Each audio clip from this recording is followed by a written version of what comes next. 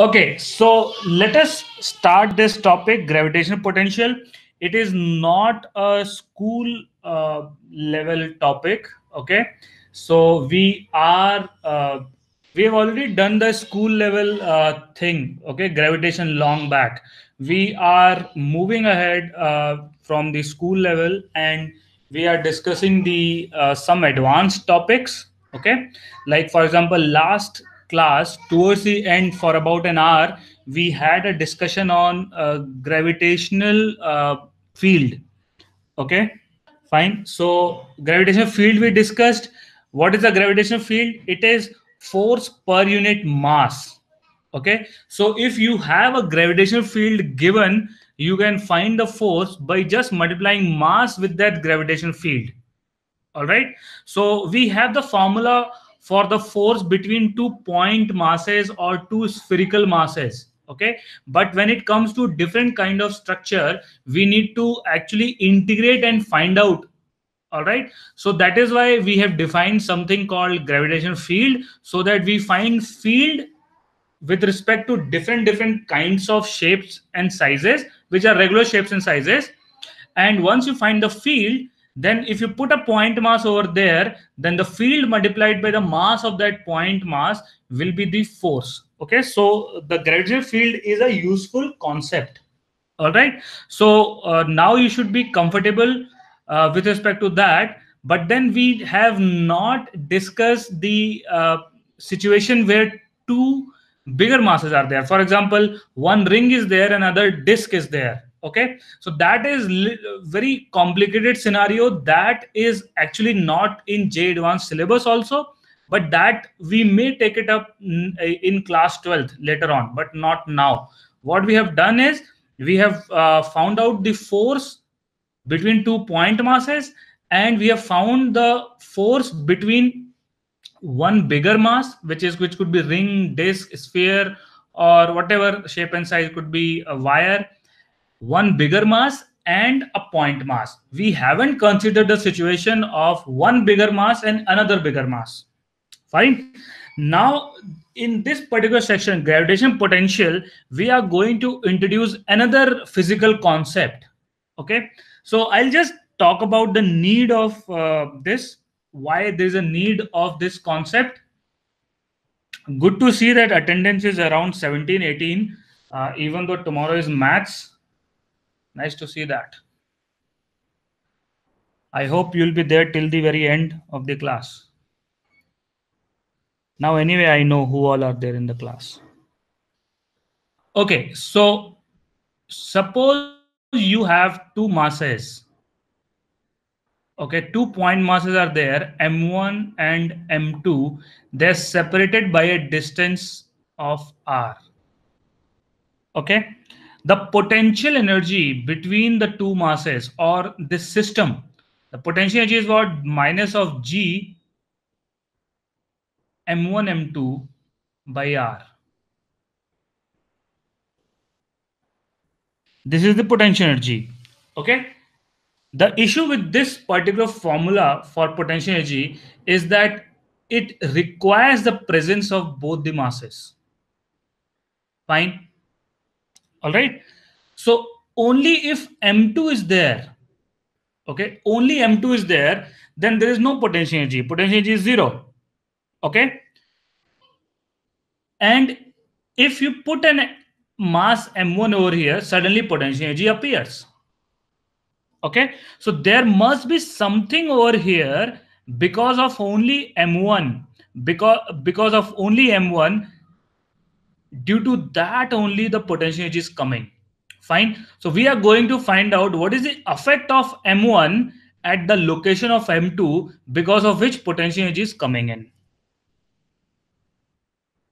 All right? Because only if m2 is there there is no potential energy. Suddenly you keep m1 and potential energy appears. Okay? So we are in search for a function which could represent the energy and it is only a function of m1 okay?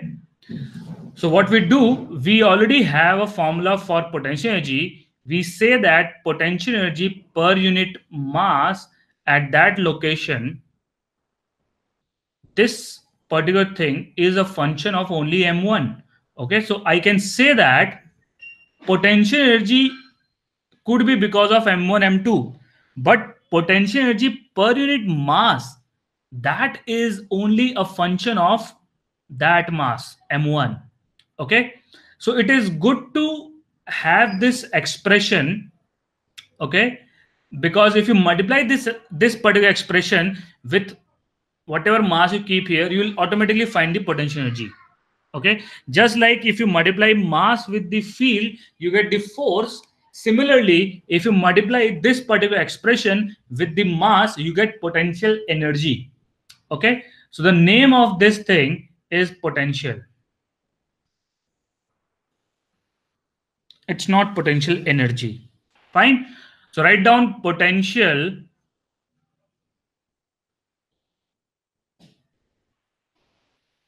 So again, I'm telling you, we are going ahead of your school syllabus. We are not restricting ourselves to just schools. Okay. So that's the reason why we are taking up few advanced topics. We are towards the end of this of, of this chapter. So just one more hour and this chapter will be over. All right. So potential, write down potential due to due to a point mass at a distance of r from the point mass.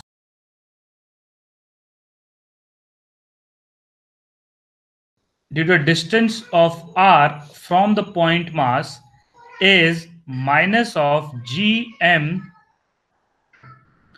By the way this potential and field they are not as such uh, you know, uh, they are just a concept. Okay, so we have just uh, assumed that there are multiple scenarios and we have derived it. In fact, you can treat whatever derivations we have done as if we have, we have solved few numericals.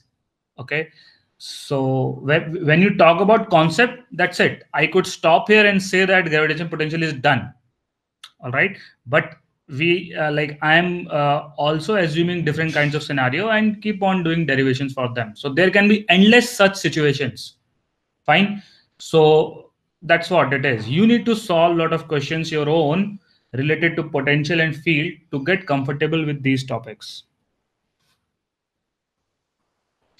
All right so this is the potential. Can you tell me what is the direction of the potential?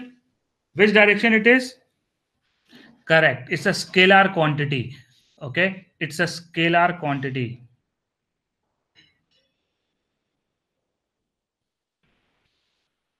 The best part, no direction.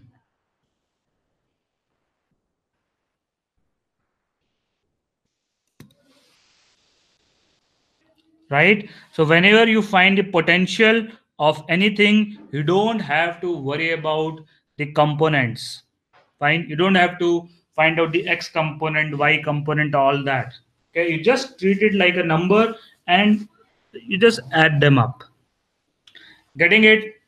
What is the unit of the potential? What could be the unit of the potential? Give me one of the obvious units of the potential. Quick. Potential energy is joules right? Potential energy per unit mass is joules per kg. Okay any doubts till now? Now we'll be taking up different kinds of scenarios and try to find potential for those. Any doubts till now? Quickly type in. What doubts. Okay. So we'll be taking up one by one different scenario just like we have taken up with respect to the gravitational field. Okay? So uh, if if i ask you to do uh, some scenarios when i ask you answer then only you type in okay? So that others are also comfortable uh, solving it right? So let's do it for ring. For ring of mass m and radius r. What is the potential? All of you? Ah that's a valid question. You have to ask where. Where i have to find the potential okay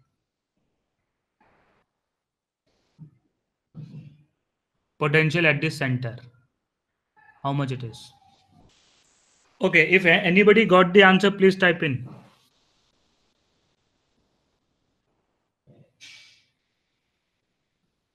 Why it is zero? What is the reason for it to be zero?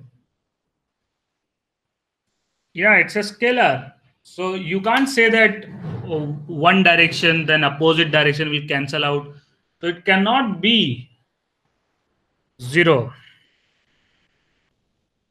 Had it been field, then yes, because of this point mass, let's say you take a small mass over here, the field will be like this. And because of this one, the field will be in opposite direction. So they will cancel out each other because it's a vector. But potential is not a vector. So there is no question of direction. Fine. So I think all of you are not getting it. Anyways, so here, tell me if you take a small mass over here, dm, okay, its distance is capital R. Yes, Devdas, that is correct.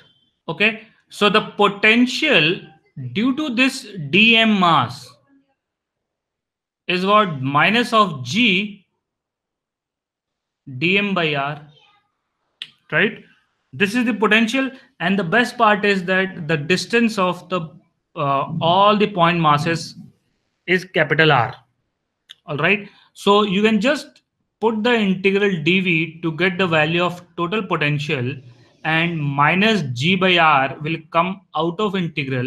It will be simply integral of dm that is m only. So minus of g into capital M divided by R. So this is the potential due to a ring at the center. Okay. Understood all of you why you're getting wrong? Right? Any doubts? Okay. Now write down uh, something which is very important that write down. If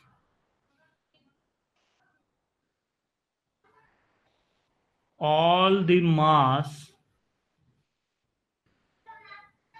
of a system is at a distance of d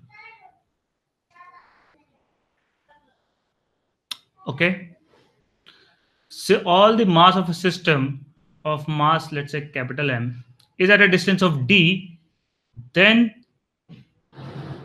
potential or gravitational potential i'm talking about then the potential v will be simply equal to minus of gm by d. Okay? So you don't need to integrate or anything. If you're seeing that all the mass of the entire system is at the, is at a same distance is at the same distance from the point where you're finding the potential then you just directly write minus gm by d as the potential. Fine? Because when you integrate g by r will come outside. G by d will come outside all the time. It will be simply integral dm which is m only. Okay? So let's take few more scenarios which is uh, fem, uh, which is similar to this okay? So another scenario is this one. You have a ring of mass m and uh, radius r. You need to find out the potential along the axis at a distance of d. Okay, this is mass m and radius r. Okay, this ring is perpendicular to the plane of your screen. That's wrong, Bharat. Others, this is where you need to find the potential. Now, answer me one thing: is all the mass, all the mass of this ring is at the same distance from that point? Yes or no? Right? Yes, Shashank.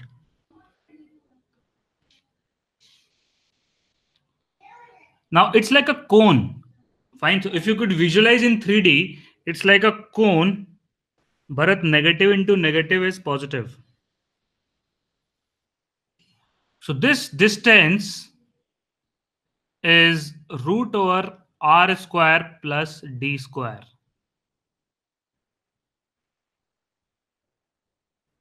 Okay. So all the mass is at a distance of root over r square plus d square only. Okay. So the potential in this case is minus of gm divided by root over r square plus d square.